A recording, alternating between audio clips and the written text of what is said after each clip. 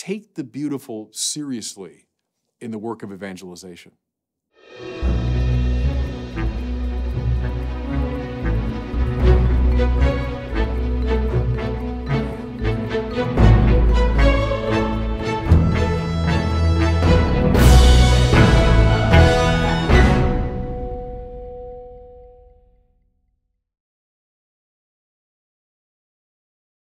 Just last week, I had the great privilege of being at uh, Benedictine College in Atchison, Kansas. I gave the commencement address there to the graduating class. And also, while I was there, I got this uh, wonderful award from the um, Institute on Beauty and Culture, which is run by my good friend, Dr. Dennis McNamara. He and I were colleagues for years at, at. Um, but they asked me just to reflect a little bit on beauty and the role that beauty has played in my own formation. So I gave a, a more or less off the cuff uh, set of remarks, but I want to share some of that with you, just my own relationship with the beautiful. And I, I told them that, you know, go back to when I was a kid, I loved sports. My whole life was sports. It was baseball, basketball, football. If I read, it was reading about sports. So that dominated my life till I was probably 12 or 13. And then many times I've told you the story of uh, when I was 14 and the breakthrough I had in, in hearing about Thomas Aquinas and how that opened up my mind in a very fresh way. But I then began some experiences that were more related to the beautiful. And I want to share some of those. When I was a freshman at the University of Notre Dame, so I was there for one year before I entered the college seminary, I took a class um, that was in this big auditorium. It's, it's, probably gone now, or I don't know, maybe replaced by another one, but it was a big auditorium at Notre Dame. And one of those classes that probably all the freshmen took, it was in the history of art. And it was taught by this marvelous professor named Robert Leader, and he's gone to the Lord since then. But um, at the time, I was 18, I thought he was this ancient old man. I've discovered after doing some research, he was about 10 years younger than I am now when he was teaching me. But Leader was himself quite a fine artist, a painter. But above all, he was an art historian and a teacher of art. Now, these are all pre internet days, so there was a um, slide projector he had, and he had these gorgeous photographs that he himself had taken on his wanderings around the world, and they were just beautifully colored, richly textured photographs. So he would lecture to us, then he'd lower the lights. He began to show the great works of art.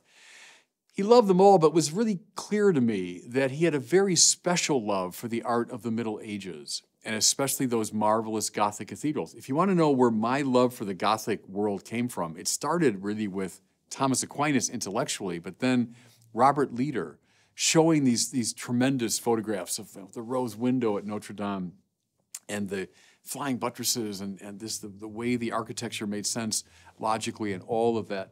He communicated it so powerfully. I'll tell you a story.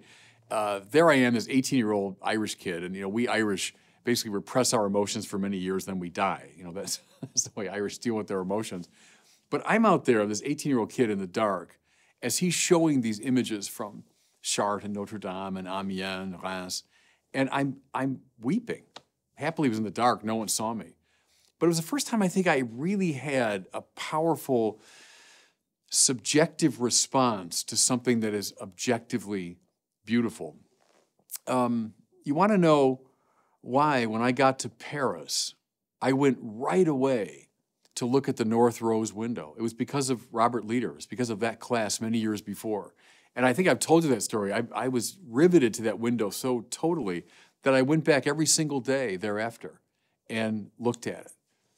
It has this transformative impact on you.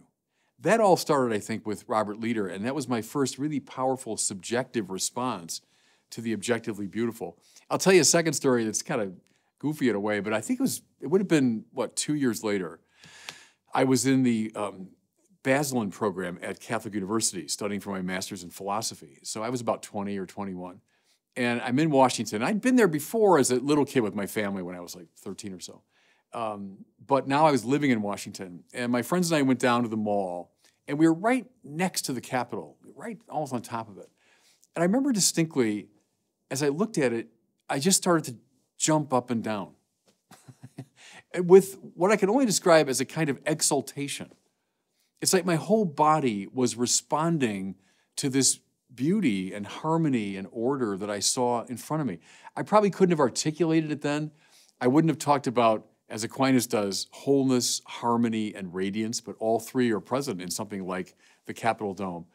But my body knew it, right? My body understood how powerful that was, and it responded in the way that a 21 year old can, by jumping up and down. Here's a third one, not in regard to the visual arts this time, but to the aural arts, the art you can hear. I did my pre priesthood retreat, 1986. So, in advance of ordination, you have to go on a week's retreat. And I did it at St. Meinrad Archabbey, which is nestled way down in the southern tip of Indiana. I remember driving, it's about a seven hour drive from Chicago, and I got there at night, made my way to the guest house. So I slept through the night, and then up, up early, like 5.30 or something, to pray with the monks. And I remember vividly making my way through the kind of misty morning, not quite sure where I was going. I come up to the Abbey Church, I remember opening the side door and first being struck by the, the golden light inside. But what really bowled me over was the chanting of the monks. You know, maybe I'd heard that kind of chanting on, on a record before, but I had never heard that live. You know, liturgical music when I was coming of age was basically people playing four chord folk songs poorly on the guitar. And so to hear these ancient chants in all of their depth and harmony and aching prayerfulness. I don't know, it's like a door opened in my soul that day, which thank God has never shut. It was a door to the deep place of prayer. And to this day, no joking, whenever I pray, I kind of conjure that moment, remembering those monks, that's 30, what, six years ago. The beautiful, found its way through my ears this time into my heart and into my soul. That's how it works. Three stories. I could tell you many more. You probably have similar ones. Here's my overall point, everybody, is do not subjectivize and therefore relativize the beautiful. The beautiful is as objective as the good and the true. If I grasp the truth of a mathematical equation, well, that's true whether I like it or not if I understand the goodness of a moral act, well, that's good whether I'm in favor of it or not. My subjectivity doesn't determine the thing. Rather, the objectivity of that value stops me in my tracks and works its way into my soul and reorders me. The same is true of the beautiful. Those three examples I gave.